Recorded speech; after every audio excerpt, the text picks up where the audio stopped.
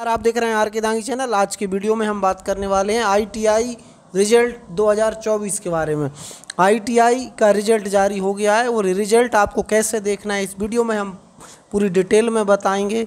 Second year वाले कैसे देखेंगे? फ़र्स्ट ईयर वाले कैसे देखेंगे? ये रिज़ल्ट अभी काफ़ी जगह समस्या आ रही है देखने में। तो देखने का तरीका क्या है? और आप अपनी आप मार्कशीट डाउनलोड कर पाएँगे या नहीं कर पाएँगे? या रिज़ल्ट स्टेटस देखने को मिलेगा।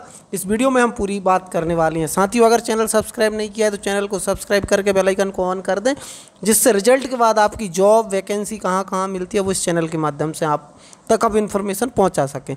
चलिए हम आ जाते हैं। सबसे पहले आपको, आपका कोई भी ब्राउज़र है क्रोम ब्राउज़र ओपन कर लें। उसमें आपको क्या डालना है?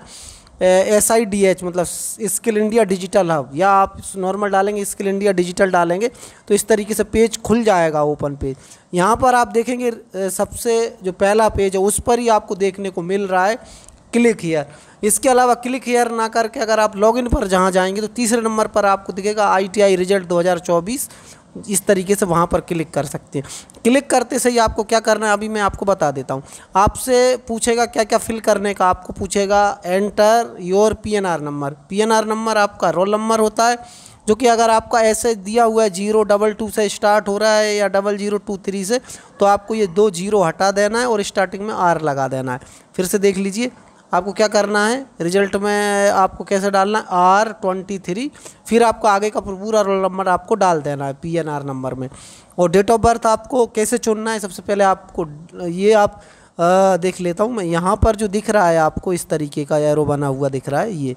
ये। यहाँ पर आप क्लिक करेंगे तो सबसे पहले आपको ईयर पूछता है आपका, बर्थ का ईयर कौन सा है? जैसे मान लेते हैं 2001 है, फिर आपसे मंथ पूछेगा। जैसे मान लेते हैं आपका मंथ है अगस्त तो आपको अगस्त चुनना है, फिर आपको डे पूछेगा। जैसे 10 अगस्त 2001 तो इस तरीके से आपको चुनना है।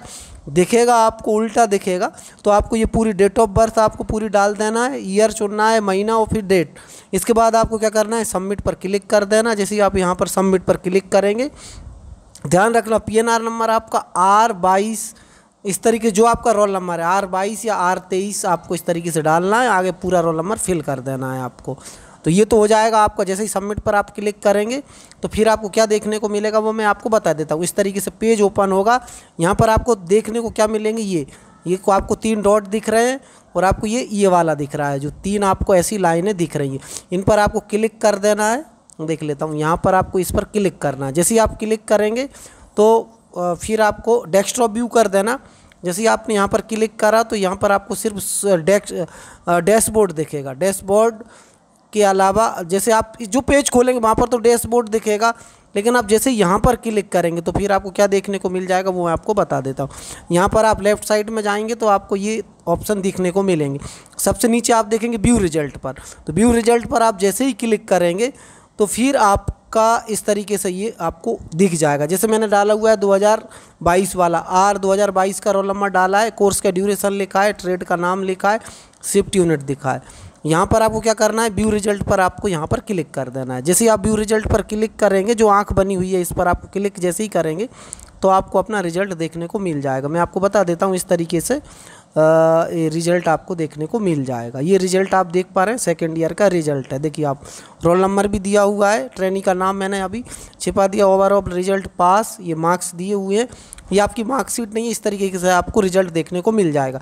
ऐसे ही आप देखिएगा, यहाँ पर मैं बता दूँ आपको, ये मैंने फ़र्स्ट ईयर का रिज़ल्ट निकाला है कोपा ट्रेड का। यहाँ पर मैंने थोड़ी सी डिटेल हाइड कर दी है, ये कोपा ट्रेड है। ठीक है? और इसके अलावा ये रोल नंबर दिया हुआ है इस तरीके से ये टो, टोटल मार्क्स हैं ये इसके 600 में से 503 मार्क्स आए हैं। तो ये मैंने रिज़ल्ट आपको बता दिया है। इस तरीके से आप अपना अभी फ़िलहाल में आप रिज़ल्ट देख पाएँगे।